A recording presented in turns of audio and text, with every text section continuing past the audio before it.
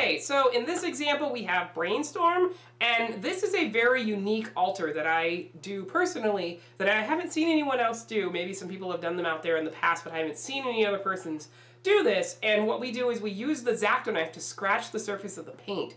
Uh, and if you ever want to whiteboard a card, X-Acto knifing and scratching it, it comes right off. It's really fast. Uh, in this example, it's not as fast because we're doing very fine detail in the line, so it's not just scraping it off in like a wide array, it's very specific. But what we do is we put white in to give it a over and over border where it's blue and white, blue and white, and there's a bunch of lines. And then when we're done, we're going to extend the blue out and make the lines go even further. And this is what I call a line alter. And as you can see here, what we're doing on the top right, and this is something I came up, came up with um, a couple times, I did these without doing this, but I do them with this now. So that most of them in circulation that you see say that right there. On the top right, it says brainstorm, hidden in the lines on top, and your opponent will never know unless you say something.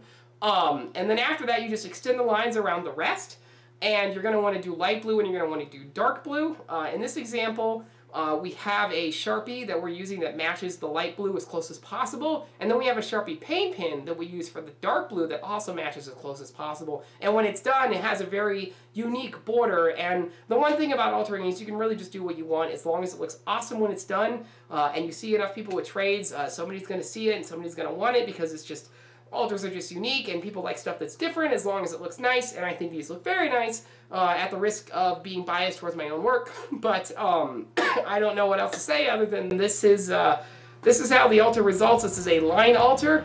uh, it says brainstorm on the top right which is cool and you can if I wanted to I could have it say brainstorm around the border or you can have it say brainstorm around the border. You can do the lines thicker you can do the lines thinner you can really do it however you want. But this is the uh, brainstorm line alter, and this is the end result and that's it uh, hopefully, we'll see you at the next one, and I'm going to go away now.